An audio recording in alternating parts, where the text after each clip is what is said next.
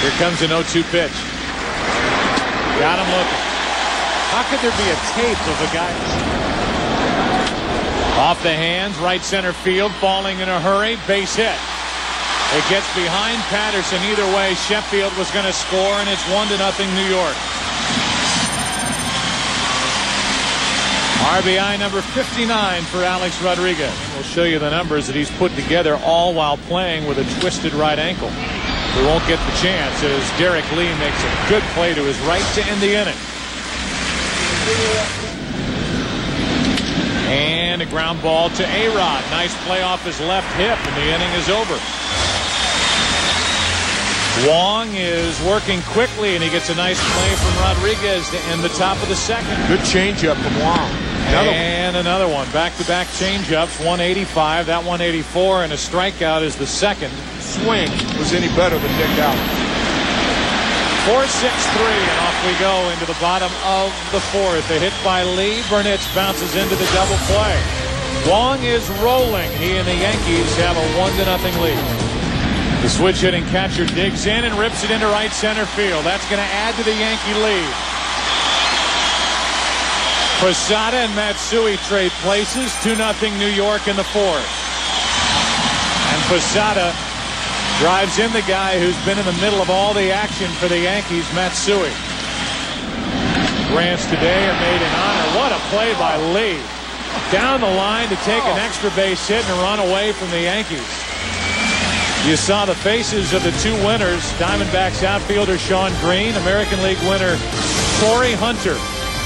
And here's a gold glove play from a gold glover down the line to his left. He can do it all. Derrek Lee, 2-0 New York. His first time up when he flied to center. We hope to give you a chance to hear that. Steady grounds to first. Three, six, three. Nicely turned by Tino Martinez and Derek Jeter and he's gone. Wang has been fantastic. Three strikeouts. He's allowed three singles. Maintain his job. Now the dangerous Sheffield who lines one into center field. Patterson will come up throwing. To the plate is Cano. Throw cut off, and it's 3 0 Yankees in the fifth. Cano, who started this inning with a hit score. Here is Jason Dubois, the DH in the number nine spot, and he rips one into left center field. Is that going to go? Up and out. The Cubs are on the board. It's three to one.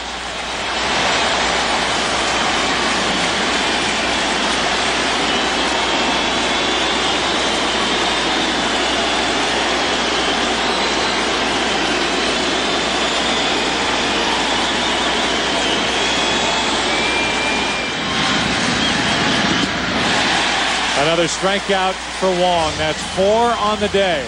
2-1 pitch. In the air to left center field. Back is Hollandsworth at the wall. It is his first grand slam.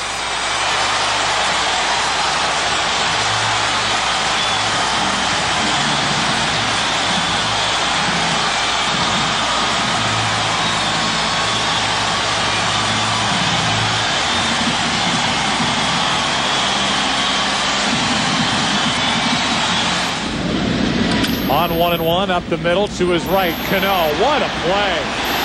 Two out. We're going to have to wait on the Yankee Stadium talk as we watch Cano act like Jeter.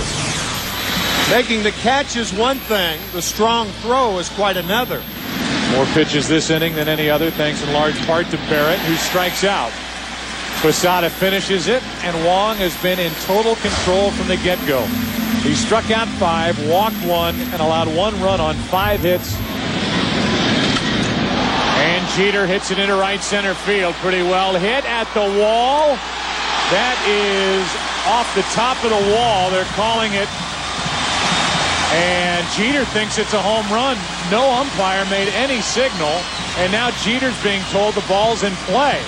That ball looked like it was gone, but the second base umpire Mike Reilly didn't make any sign, and now he does and says it's a home run. Yeah, it looked like it hit the. 2 2. In the air to left, Womack is under it. The Yankees have won the first two games of this series against the Cubs, and the Cubs are now 0-5 in their franchise history here at Yankee Stadium.